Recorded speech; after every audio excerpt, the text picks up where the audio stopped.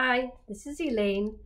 As I promised, um, in the series of Adult Children of Alcoholics um, 12 step program, I decided to share with you steps two and three today.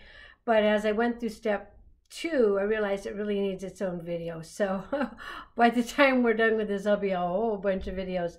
Uh, so I'm going to just jump right into it. The second one is came to believe that a power greater than ourselves can restore us to sanity. So um, there's a lot to unpack here. I, that's why I really needed it needs its own video uh, because well, I think we have some really big things to talk about. Sanity is is one, and the higher power.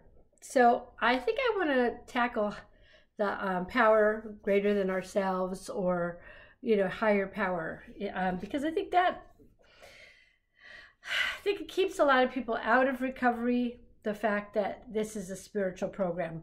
Almost any program that you attempt to do to help you with emotional sobriety to help you with recovery is going to have a spiritual component. Um, a spiritual component does not have to mean a belief in a certain God or a certain religion or even God at all. Um, I think we all can recognize that we have a sort of a spiritual spirituality, a certain we have certain spiritual principles. They're those um, those things that guide us. You know, the things that drive. You know, it's not just our mental, um, like logical and rational thinking, uh, but it's also something that directs us you know, it may be in our heart. It's, it doesn't seem very scientific for some people.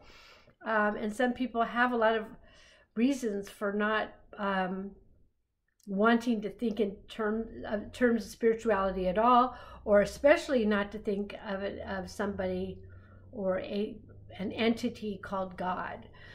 And that shouldn't keep you from recovery because there's no reason that you have to adopt any kind of religion or faith to follow this 12 step program.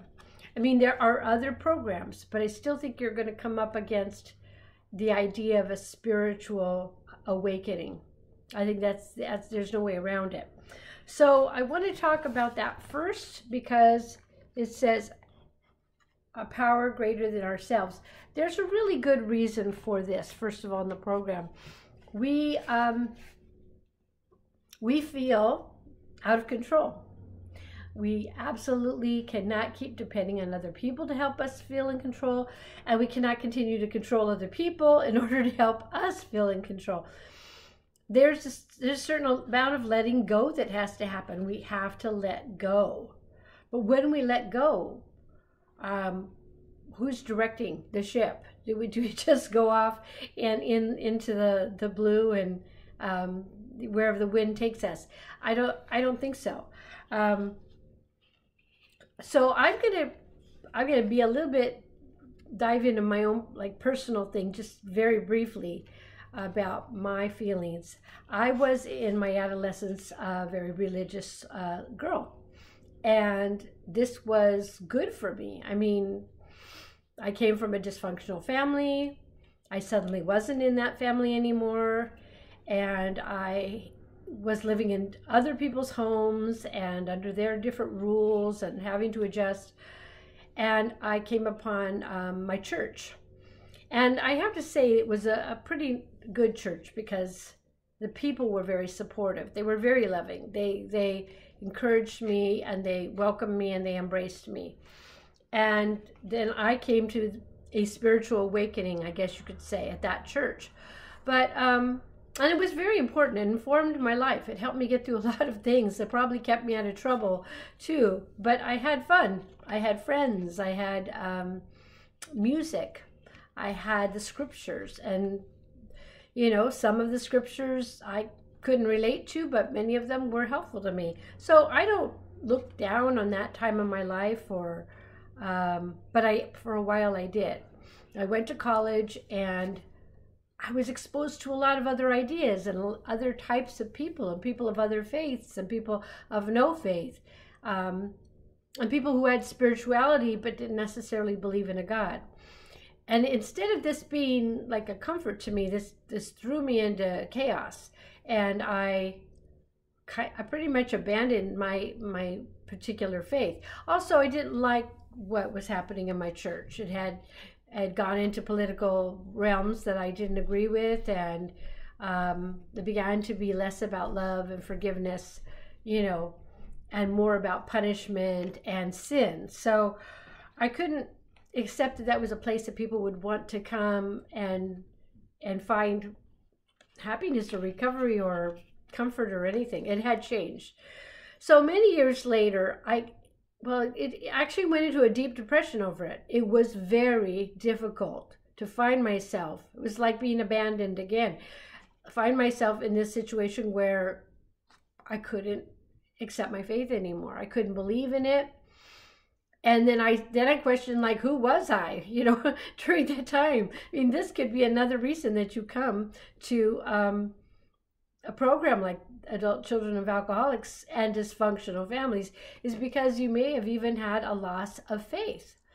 And I'm not saying come back to the faith because that's not always the answer. I'm not saying believe in God. If you can't feel a belief in God, that's fine. But you need to def- decide because you feel out of control, because you have tried people to help you um, feel safe. And they have tried to use you to feel safe. Uh, there's a certain feeling of being lost in the world if you don't have a spiritual practice of some sort. And again does not have to be god. So what i when i say um, higher power and i'm going to tell you there are days when i have a trouble conceiving of god as being there you know, I mean, that's kind of where I am. We'll just say is believing in a higher power, and we'll just leave it at that. So, your higher power, um, we can just talk about it really quickly. It can be um, the universe. If you can think of the universe as loving, you know, maybe because it makes the mountains and it makes the trees and it makes the animals and it created love in us to love other people. Whatever is that creative force, you could think of that and, and not have to define it. And um, some people might have trouble with God because they say, well, why does God allow all this bad in the world? And I can't answer that question for, for you because I would say that we as humans are here with free will and we do things to each other and things go go wrong. Um, a lot of that is because many people don't come to terms with their own self, with their self love. We can't fix them, we can't save them. We can only save ourselves. So the, we think of we want to blame God, or if we don't believe in God, because why would God do such a thing? Um, again, I think what we have to do is just make a personal God for ourselves. And however you want to envision that. I sometimes use the idea of a higher consciousness, that there's a spiritual consciousness, because we all have consciousness. And sometimes our best ideas and our best care, the, the love that we have for each other in our best selves, we reach a, a state of consciousness that's really amazing. Um, and so I find it is also my best self maybe I've never achieved my best self. I don't even know what my best self is. But sometimes it, it seems like I'm better on certain days than others. But I like to think of it as that potential for the best self that I could be. And it might seem like not enough for some people. I don't know. And I don't want you to struggle over this because even if you have to just do it in a metaphorical context, thinking about uh, a god or a some sort of a um, consciousness or belief system or something, whatever you can surrender yourself to. So, um, anyway, I would suggest you don't skip over this step if that's a problem for you. Now, if you are a, a very strong believer in God or Jesus Christ or, um, you know, in Allah, whatever your your faith is, there could still be a problem because sometimes we think of our our God or our higher power as a a manipulative God or a mean God or a gotcha God or a God that's going to punish you or a God that um, is just waiting for you to make a mistake, you know, or a God that um, enables you and, and says, well, that's okay, you know, I, I accept that you did this bad thing and hey, you keep doing it, it's okay. So, you know, um, sometimes it's just like even if we believe in God, we have unhelpful ideas about who God is because, you know, who are we as humans to try to de- define who God is? We don't really know. We can't really see. Um, and when we think we know, sometimes that's a problem too. It's even a form of control that is not healthy in this program. So I don't know. I I find this to be the most complicated thing. I'm not here to sell the program. Again, there's so many other things you can do. I think it's for me was one of the best programs, and so I had to come to terms with a, with a higher power. And um, so bear with me. And if you if you want to go on, this is like this is an important step. Okay, so we're going to look at the other word, which is sanity because this step actually hinges on sanity more than anything. The, the higher power thing is actually going to come up more in step three. So let's just, um, let's concentrate on what sanity is. Now, we are all very, I'm looking for the, the right thing for you. Okay, well, let's first talk about what insanity is. sanity, or sane, actually in Spanish, the word that's close to sane is healthy. I love that. In fact, it'd be much better to use that. Um, I don't even know what the, the whole word is in Spanish, but I know that the root word is san or sana. So, sanity is health. We want to be healthy. It's very simple. But let's talk about insanity and what is not healthy. Okay, so insanity. You've heard this before. People have said this before, probably, that you've heard. Uh, repeating the same mistake and expecting different results. Okay, so that is what dysfunction is. Okay, so that's this whole thing dysfunctional families. It's if what we were doing was functional, our life would feel probably more sane. But it's not functional, or else you wouldn't be here. Again, I say that again. You are here because you want like to be functional and happy. So dysfunctional, it kind of means you keep doing that dysfunction. You know, it's away from function. It's not functioning. And so that's not sane when we keep trying to do this. Now, this step talks a lot about our relationships with other people.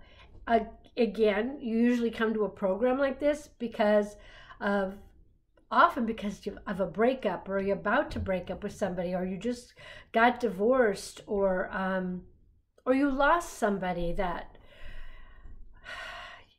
you know that, that person was very important to you and you you depended on that person a lot. And so you come to a program with that response. It's usually about somebody else.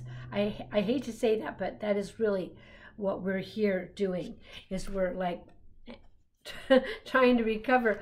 And what we're doing is we're trying to fix our dysfunction from when we were kids with other people. So we had problems as kids we go out looking in the world for somebody and we think we can fix the dysfunction through another person. And you know that's true. Most, I mean, most of you viewing know that you looked for somebody that's going to fix all this, okay? Or you can fix them and act out like the fixing that you couldn't do with your parents or your your biological you, you know your biological parents or your caregivers you go to this other person and you try to fix them because at least you could do that while you can while you live, right? So it's that's insane too, but we'll talk about that. So we'll start out with what was your role as a kid? And because not everybody's the same in this world of dysfunction. We are we had different roles that we took on. And sometimes it's it's uncanny that if you had like four or five kids in your family, let's say you're from a five five kid um, household, each one might have played a different role. It's not uncommon. It's almost like there's a vacuum, you know, for a role if there isn't that already. Okay. So, for instance, what role did you play? And there are other roles, but these are kind of like t- the typical roles. There's the hero. Now, the hero is the one that wants to fix. Honestly, the hero sometimes has to actually be a parent to his or her siblings. Or the hero actually has to be a parent to her parents or his parents. You know, you have to always take care of things and take on roles and um, you know you're doing like most of the household work or the most of the cooking and most of the cleaning and um, taking care of the other kids and stuff so it's like the family can't function without you and even as a little kid, you might have been taken on that role as a hero. So then in your life, you you don't want anybody to like control you. You're going to control everybody else because that's what you had to do as a kid, you see.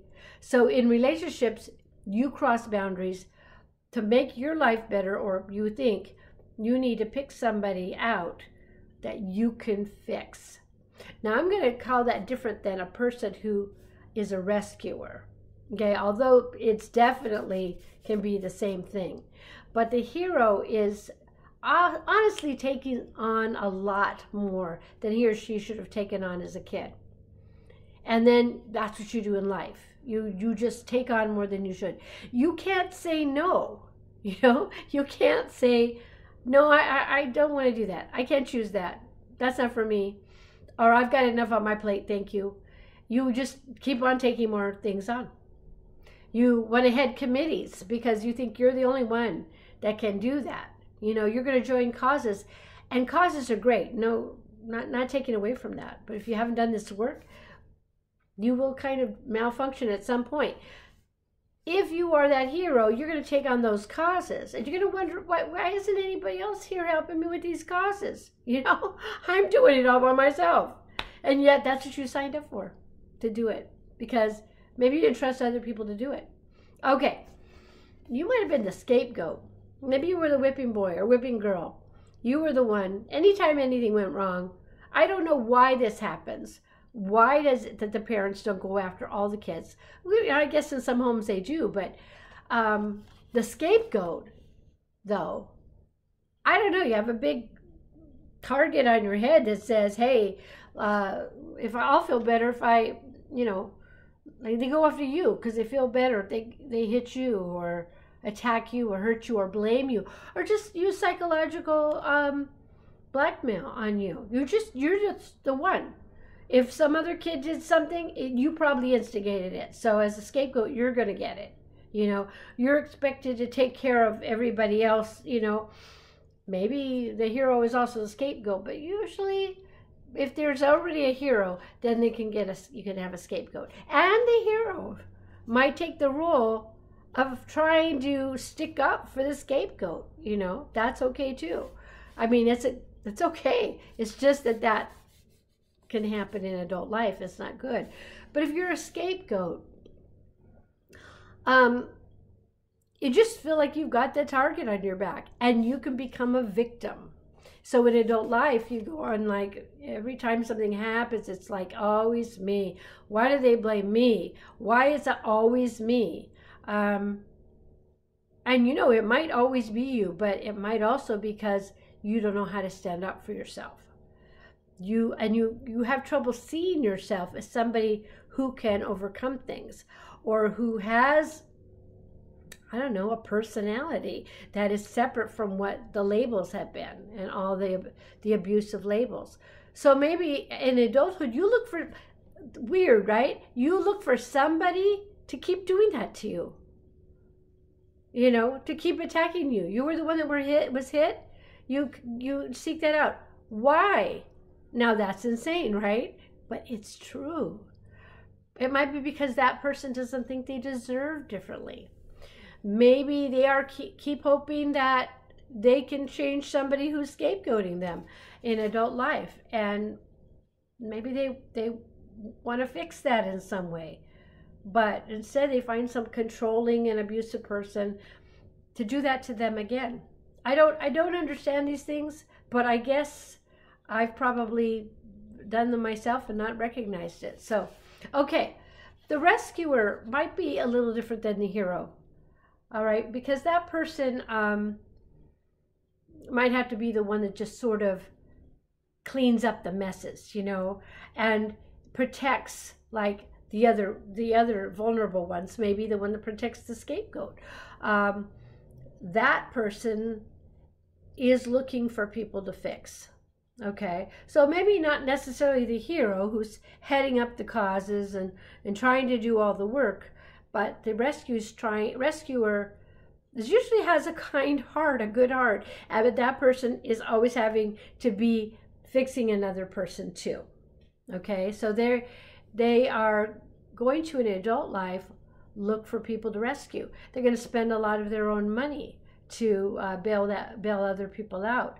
They're going to try to um, they're going to be sympathetic to somebody who keeps on having problems. So they're going to like, I, I'm the one who can help you. I can, I can come in there and I'll scoop you up and we'll make your life better. Okay. And, and I'm going to do it.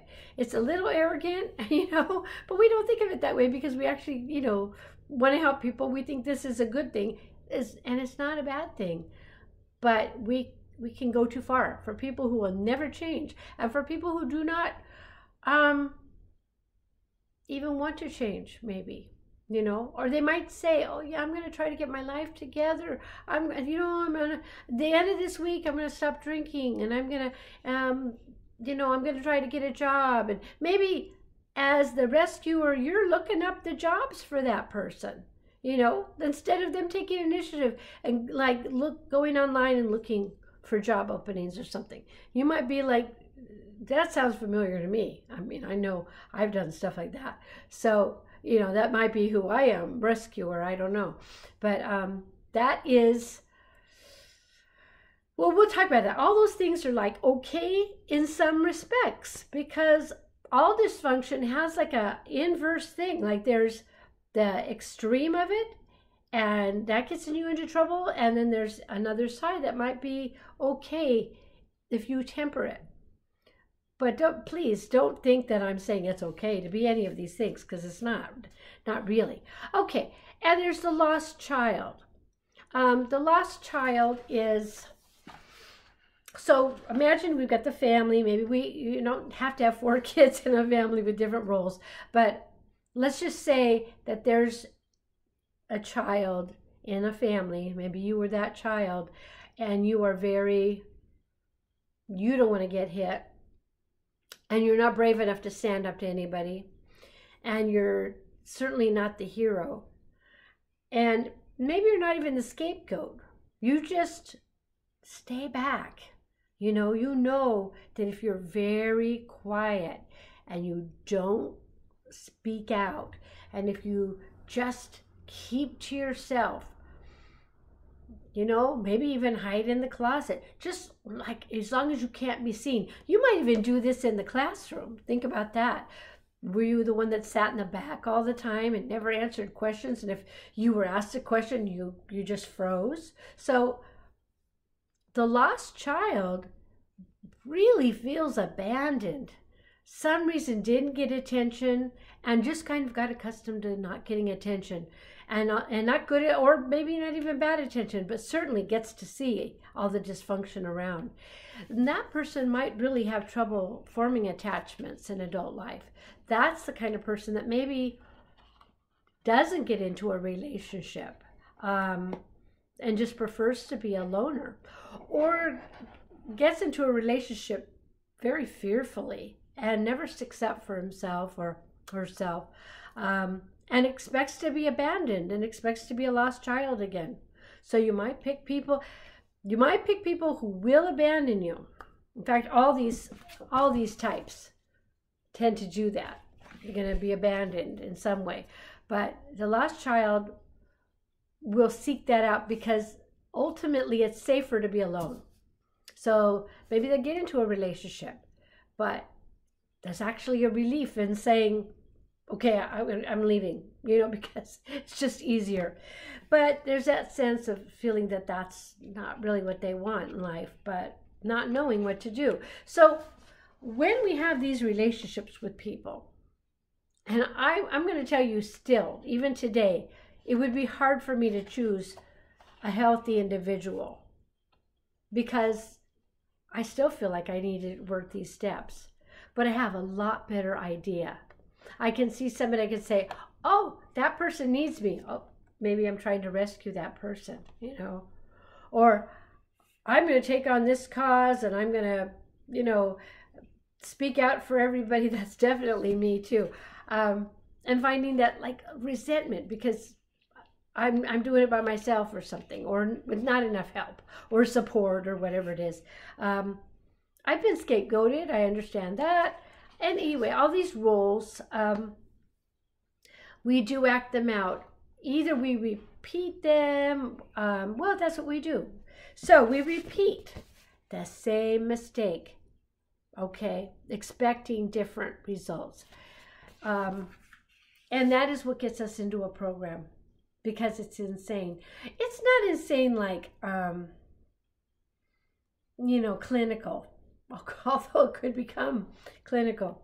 Um, it's just, it's not making sense. So I like to think of it in the term of sane and healthy. And we want to be healthy.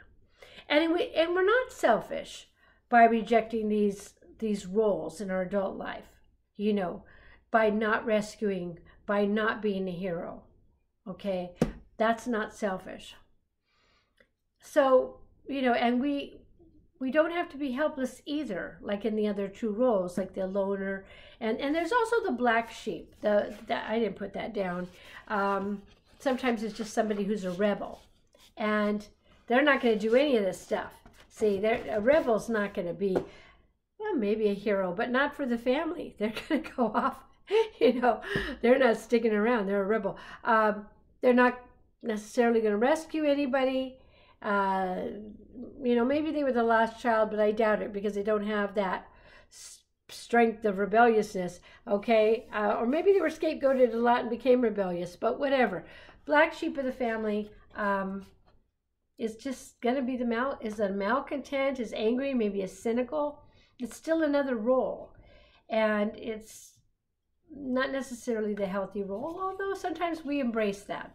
So that's again, it's not bad entirely. It's just that when you keep repeating it and you keep getting the wrong results. Um, so much of this has to do with control.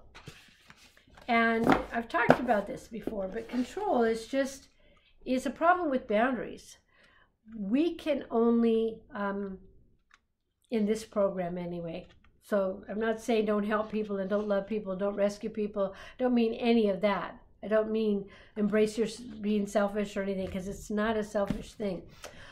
But when we control others, even if it's sort of like um, not, we don't think it's that obvious. People feel it. They feel that you want them, that you know, to do something. Uh, you want another person to do something.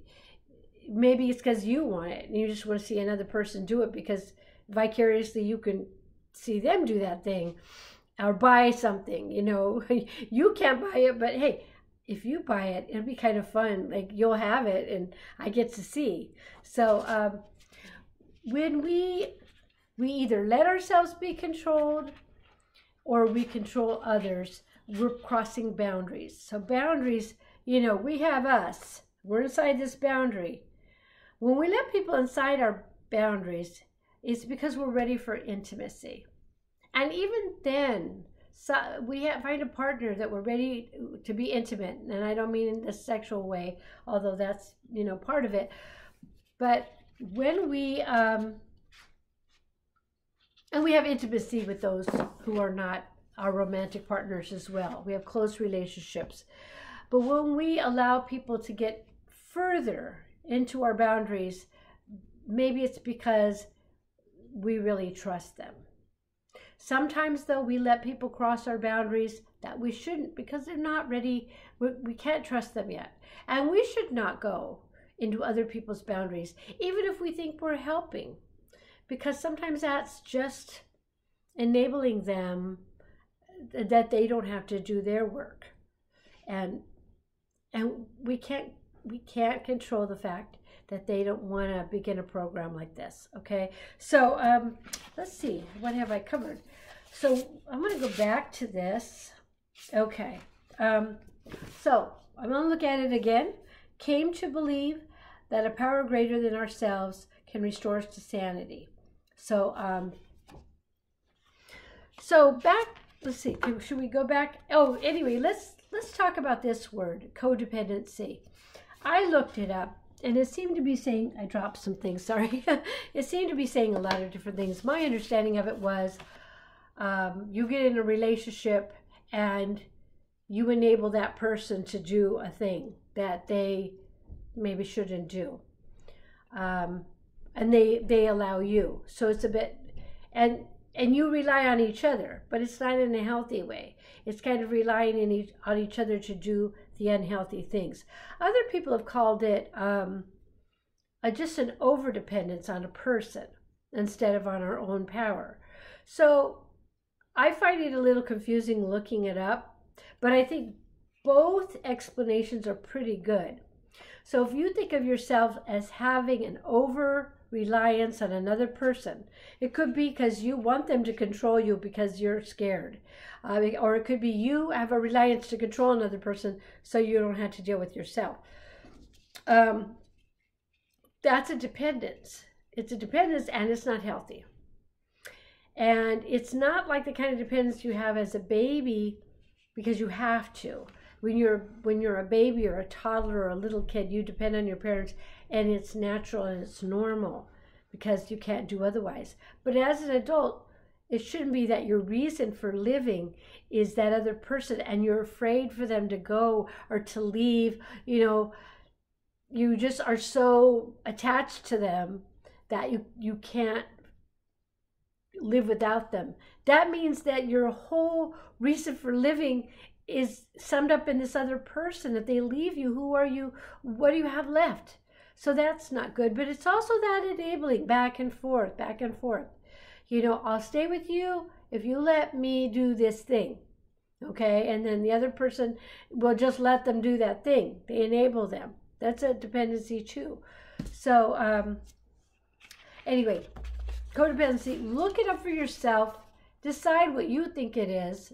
It's probably everything you everything you read about it. There are whole books written just on codependency. So, the reason why we want to talk about the higher power in this is because we don't want to put our faith in a person. Now, we might have a sponsor. Again, we've talked about this having a sponsor in um, ACA.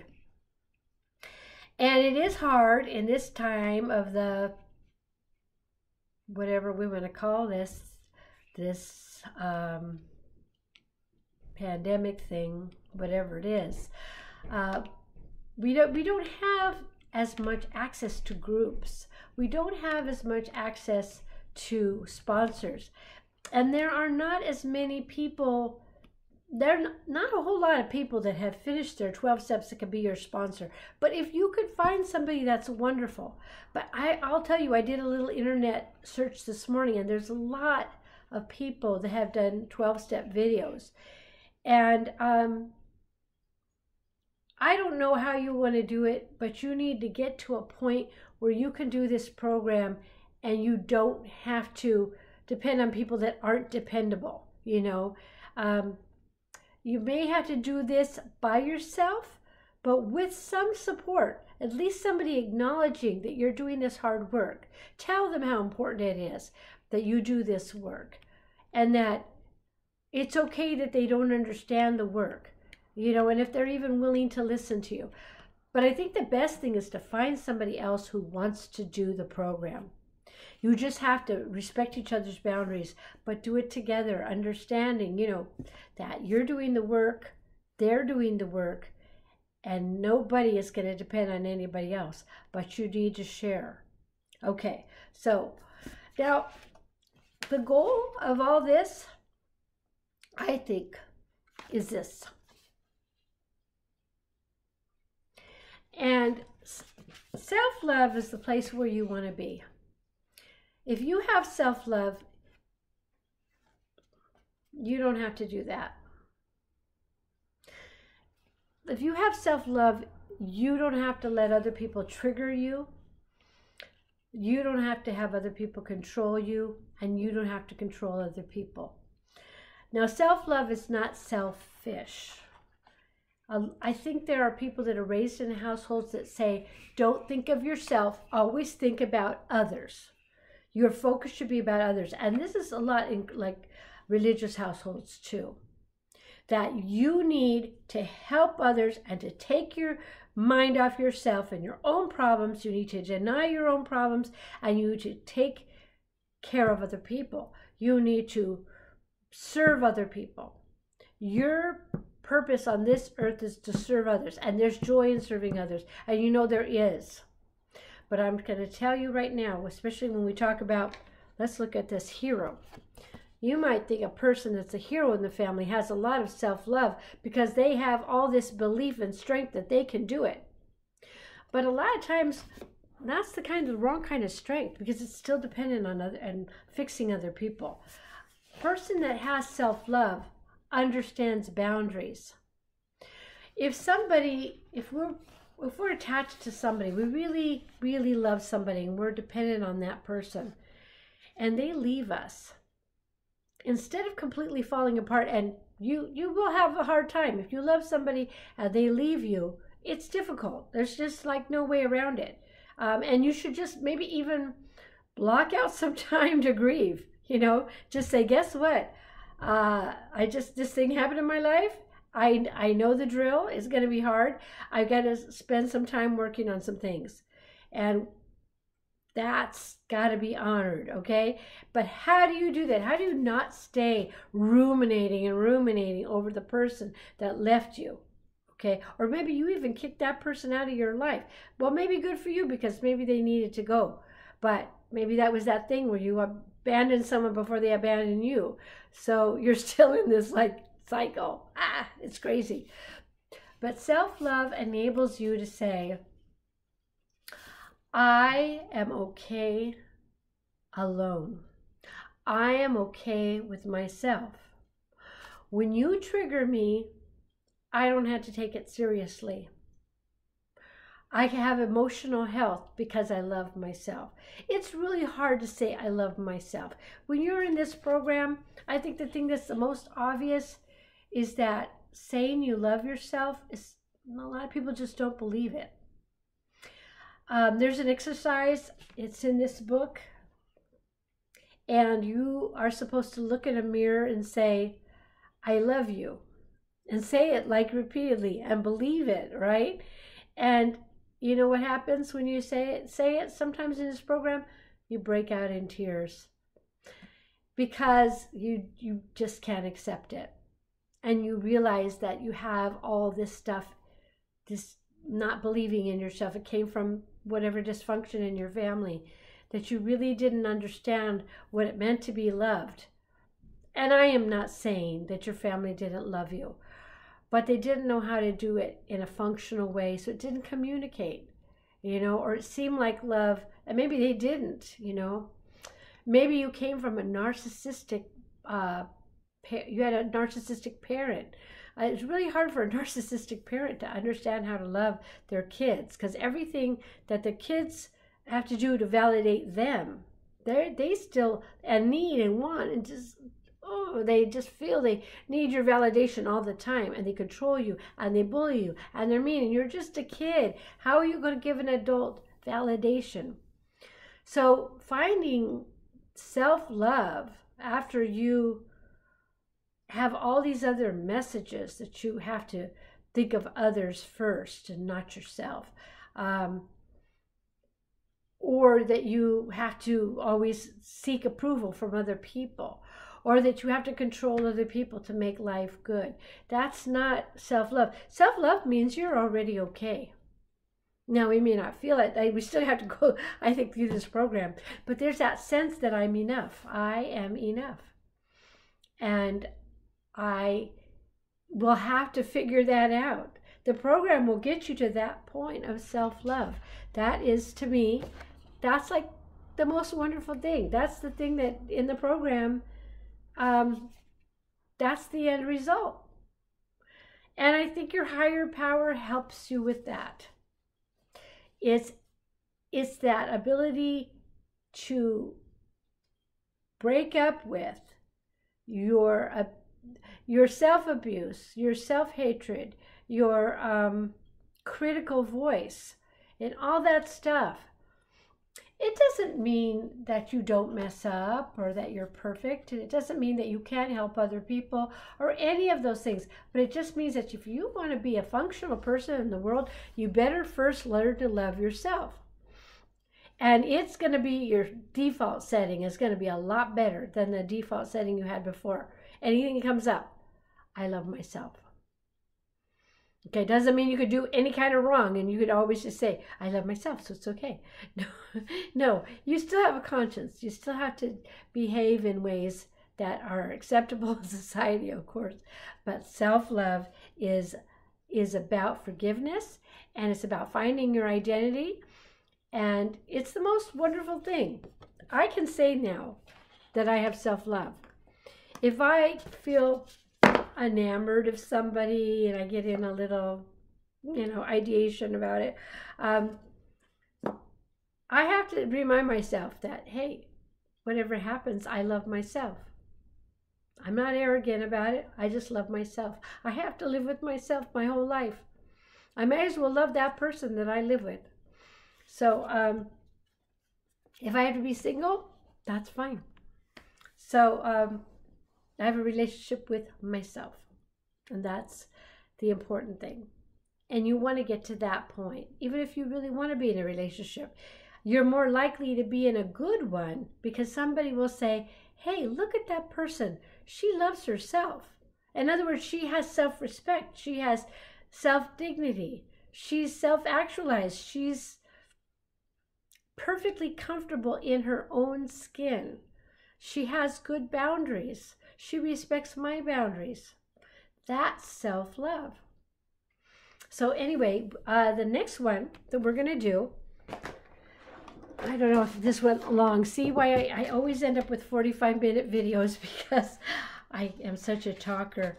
And if you listen to my videos, thank you for being like so good about that because you could probably listen to a, a fancier um, production and you know you are listening to me if you're here still thank you.